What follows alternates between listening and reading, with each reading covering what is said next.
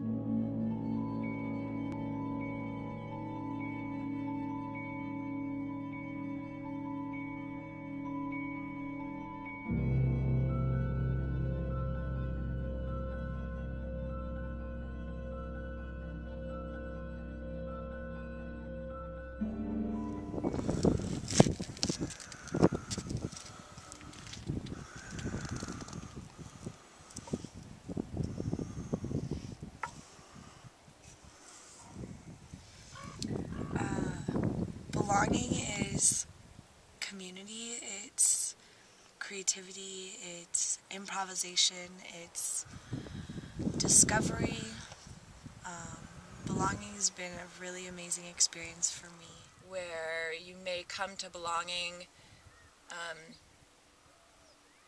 with just a lot of maybe a heavy heart because of all the things you're being asked to do every day and there's never enough time and you're tired and even if everything is going wonderfully it still seems like maybe life isn't in balance.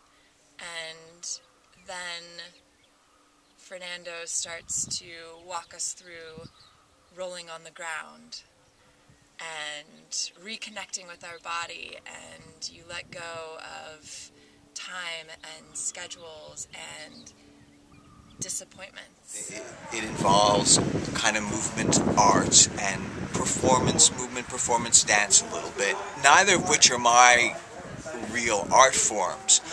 But sticking with it made me realize that I had um, neglected a lot of the creative stuff I was doing in my life and had gotten into this blocked period. And going regularly really made me, it made me start writing again, made me start doing music again. So even if dance or movement isn't your thing, I think if you try it, you're going to get a lot out of it. It was, for lack of a better word, meant to be because I was really looking for that, for that nourishment, for that support, for that, for that closeness, for that depth from from other people because because that's that's hard to find. It's it's very hard to find someone who will be vulnerable with you, who will share the deep parts of them, who will cry even if they don't know you, who will support you even if they don't know you.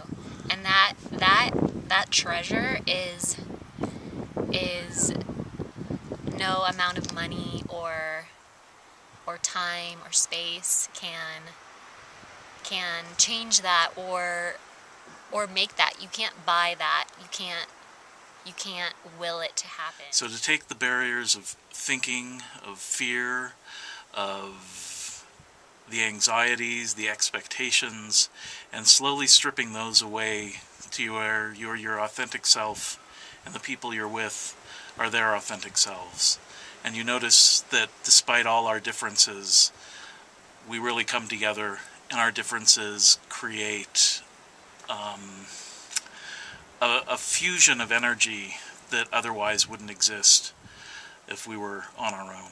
But it's also about belonging yourself, belonging with yourself and accepting yourself. And to really encourage each other to share our gifts and what we're passionate about. And if we don't know what that is, it's a space to explore and figure it out and really just love each other up and acknowledge each other and cheer each other on and support each other and just, you know, it's consistently a place to come and know that you're loved and appreciated. The unspoken language, the language is not, that's beyond our words, the language that's within our bodies, our chemistry, um, you know, that creative energy.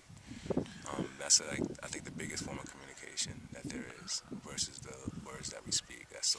The idea of sharing, both verbally and physically in a dance, has reshaped the way that I communicate with people in the outside world, um, coming a little bit more out of my introvertedness.